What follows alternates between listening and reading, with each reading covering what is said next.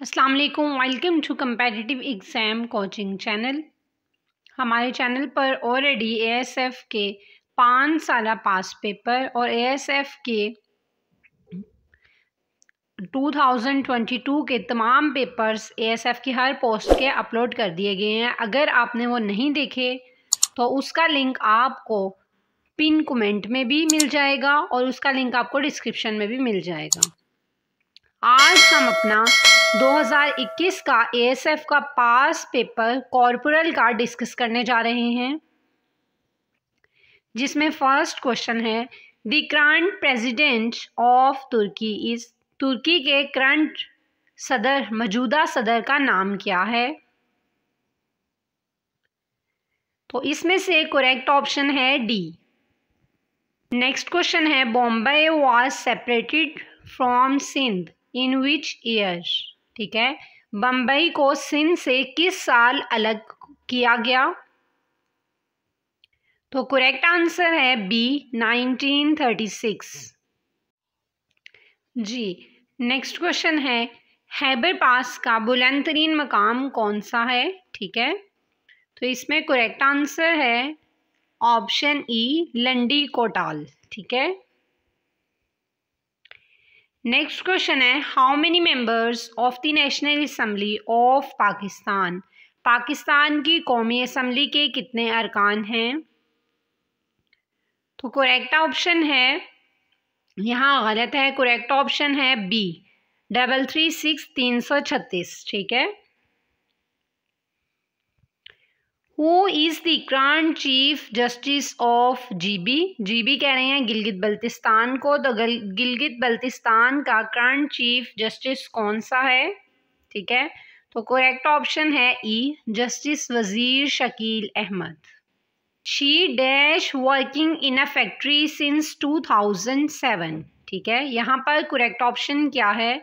Option B she has been working in a factory since 2007 ठीक है?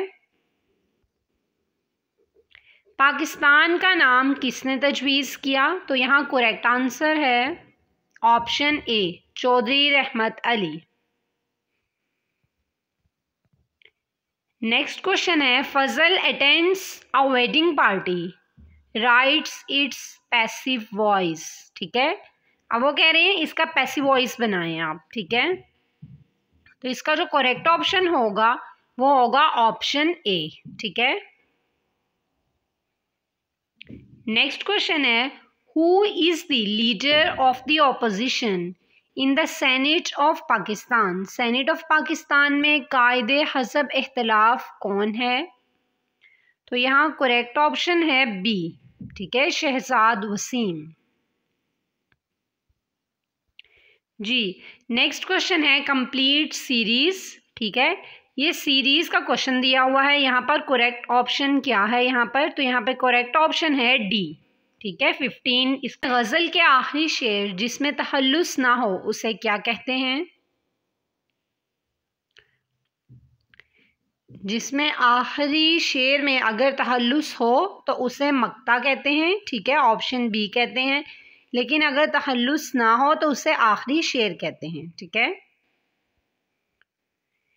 He is quite good dash making painting ठीक है? He is quite good dash making paintings तो यहाँ पर correct option है B he is quite good at making paintings ठीक है? नेक्स्ट क्वेश्चन है he did not dash a letter तो यहाँ पर करेक्ट ऑप्शन होगा ए राइट ठीक है? डिड के साथ फ़र्स्ट की फ़र्स्ट सॉरी वर्ब की फ़र्स्ट फॉर्म आती है, ठीक है?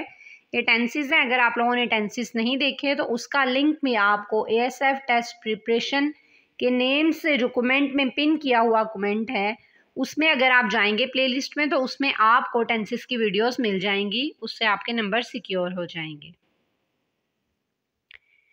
नेक्स्ट है यहाँ पर चूज़ करेक्ट स्पेलिंग ठीक है?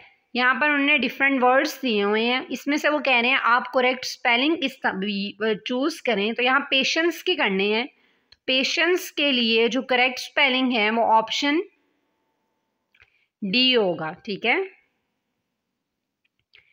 नेक्स्ट है सिनोनेम ऑफ़ फीलिंग फीलिंग का सिनोनेम बताएँ, ठीक है? सिनोनेम किसे कहते हैं? सिनोनेम वो जो मिलते, जुलते अल्फाज होते हैं, ठीक है?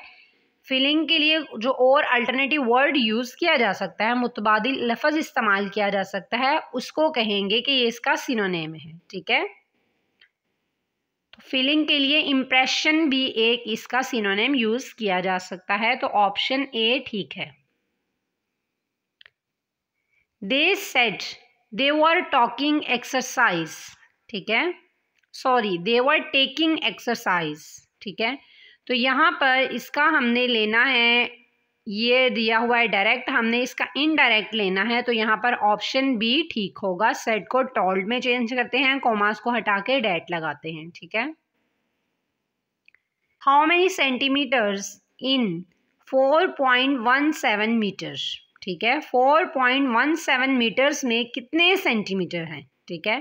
तो इसका करेक्ट आंसर होगा ऑप्शन बी ठीक है? इंसानी जिसम के किस अजू के चार चैम्बर होते हैं? ठीक है? तो वो होता है दिल। हावल नगर का पुराना नाम क्या था? ठीक है? तो यहाँ पर करेक्ट ऑप्शन होगा डी ठीक है? रुझान वाली। नेक्स्ट आ जाते हैं खून को कौन सा अजू साफ़ करता है? ठीक है तो यहाँ करेक्ट ऑप्शन है ए गुर्दे, ठीक है। दूध में पानी की मकदार कितने फ़ीसद होती है? ठीक है तो करेक्ट ऑप्शन है सी दूध में जो पानी की मकदार है वो तकरीबन 80 परसेंटेज तक होती है। सबसे पहला निशान हैदर किसको दिया गया? ठीक है तो यहाँ पे करेक्ट आंसर है ऑप्शन ए राजा मोहम्मद सरवर। गज़ल का आखिरी शेर, जिसमें शायर तहल्लुस बयान करता है, उसे क्या कहते हैं? तो यहाँ पर अभी मैंने आपको बताया था तो करेक्ट ऑप्शन क्या होगा? ऑप्शन बी मक्ता ठीक है? पाकिस्तान की पहली हतून फायर पायलट कौन थी? तो करेक्ट ऑप्शन क्या है? आयश मरियम मुख्तार, ठीक है? ऑप्शन सी करेक्ट है। नेक्स्ट आ जाए उर्दू टू इंग्लिश ट्रांसलेशन मैं कल अपने कॉलेज जाऊँगा, ठीक है? मैं की इंग्लिश आई हो गया, ठीक है? जाऊँगा। यहाँ पर हो गया शेल ठीक है? तो जाऊँगा अभी तो शेल बी आएगा, ठीक है? तो विजिटिंग वैसे भी अगर आप और करें तो सब कुछ सेम मतलब तीनों सेंटेंस वो सेम दिए हुए हैं। सिर्फ़ उसमें जो एक डिफरेंट है, वो एक में है एडमिटिंग एक में है एंट्रिंग एक में है विज़िट ठीक है? तो कल मैं अपने कॉलेज जाऊँगा इट्स मीन वो डेली नहीं जाता, ठीक है? वो विज़िट करने जा रहा है। तो इसी वजह से मैं यहाँ पर क्या वर्ड यूज़ करें? विजिटिंग के लिए। अब उर्दू टू इंग्लिश करनी है, वो सुबह से वर्जिश कर रहे हैं, ठीक है? तो यहाँ पर करेक्ट ऑप्शन है ऑप्शन सी ठीक है?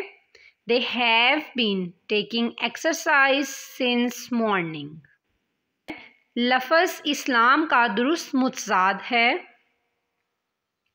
तो इसका दुरुस्त मुतजाद क्या है? कुफर, ठीक है?